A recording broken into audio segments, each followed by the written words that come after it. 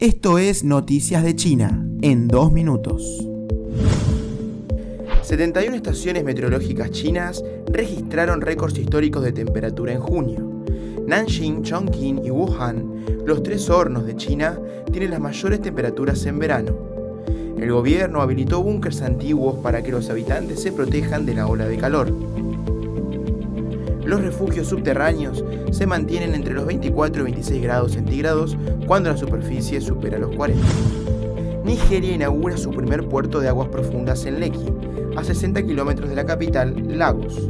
Fue financiado por el Banco de Desarrollo de China y construido por un consorcio de varios países. La zona franca Lekki reducirá costos de flete y generará más de 201 mil millones de dólares para el gobierno. El nuevo puerto, altamente automatizado, casi septuplicará el volumen de contenedores del anterior.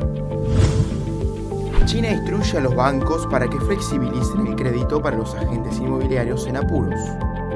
Sus acciones se dispararon tras el anuncio, el primero desde la limitación del Banco Central a los préstamos. Tres cuartos de las compañías más endeudadas incumplieron fechas de entrega de proyectos residenciales. Compradores de 100 proyectos en 50 ciudades avisaron a sus bancos que dejarán de pagar hipotecas.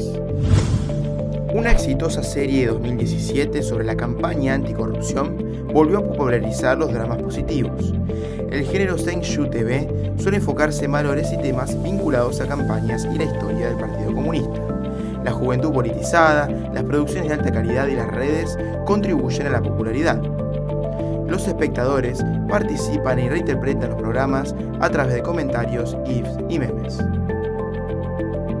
Suscríbase a Noticias de China en donshengnews.org.